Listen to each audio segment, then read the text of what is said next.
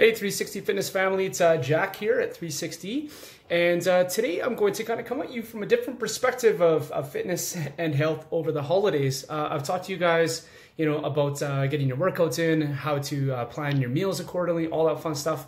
But something just as important and something just as powerful and impactful is how to have a successful, stress-free holiday season. So many times you know, our members are stressed, they're out of whack, they're skipping their workouts, they're overwhelmed, they're they're just like in constant chaos all the time, and it's because of holidays, and it's usually because of things that are amazing.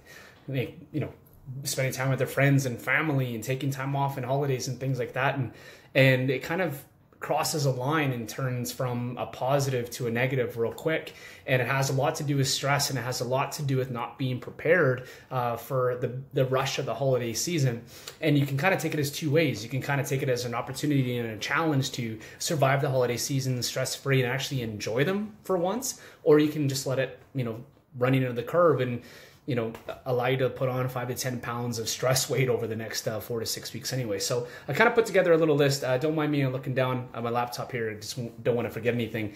Um, we're going to go over kind of five things and we'll recap it about five things that super simple, but you can do to remain stress free or to at least limit stress over the busy, crazy holiday season. And uh, so you can go back into the gym on January, you know, at the same weights, maybe even a, a little bit, a uh, little bit smaller. Um, so first and foremost, guys, do your holiday shopping now. Okay, Mrs. and I, we gotta like get this out of the way. She's she's pushing me to do it, and it's awesome because I am the December 24th kind of guy. So it's nice because it's it's uh, out of the way, and I'm already feeling you know less stressed because uh, you know most of the gifts are are kind of there. Don't go crazy with gifts too, but uh, get your shopping out of the way. First and foremost, guys, shop local first get it done shop local first as much as you possibly can. I know there's some things that, that need to be ordered online you know we're going to the big city uh, but shop local first. Uh, those dollars go, go towards you know kids hockey and you know putting meals on, on the plates for for our fellow friends and and small business owners and that kind of stuff. Uh, so shop local first uh, and then go online second okay? That's really really important and means a lot to us. Uh, second like plan your workouts. Like plan them put them in your calendar. Like Go do it right now. Like, don't worry, the rest of us will wait.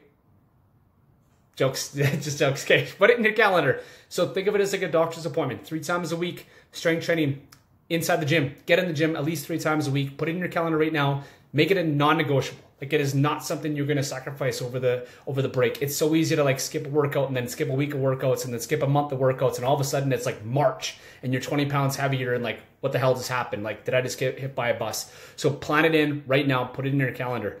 Third, guys, have a plan for the meals. Okay, and don't just wing it. And I'm not talking about like the Christmas dinner and like the family dinners and stuff like that. I'm talking about like the Tuesday dinner in the middle of December.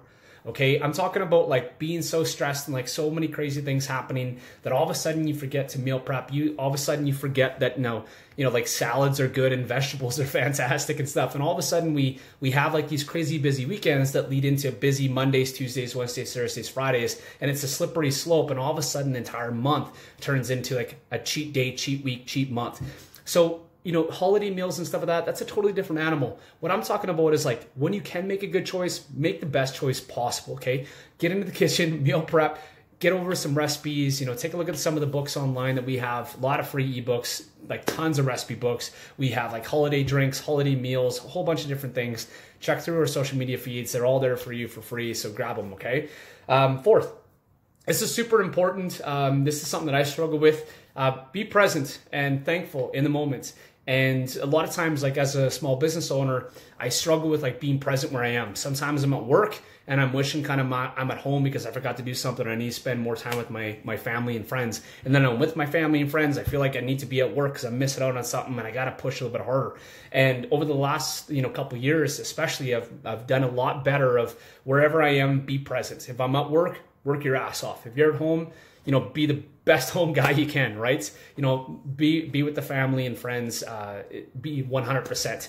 So wherever you guys are, be present, be thankful, you know, and surround yourself with good with good people, and don't feel like you have to half-ass everything because you will, okay? And you will be a crappy home person and a crappy work person if you're thinking about both at the same time. And fifth, super super important, guys, is like let go of perfection, like totally let go of it. I'd rather you be 70% 80% for the next four to six weeks than thinking you're going to be 100% for like 12 hours and then and then 0% for the rest.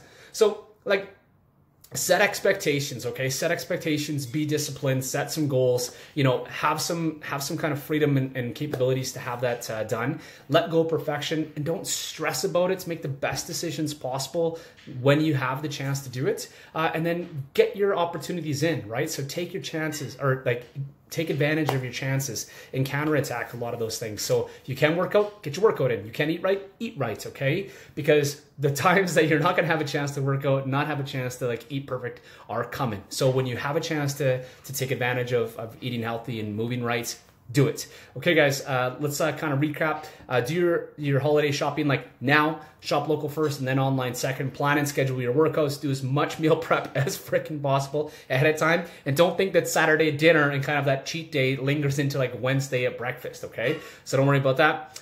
Um, definitely, definitely, guys, be present, be thankful, be grateful, you know, surround yourself with the people you love and then just cherish the heck out of them.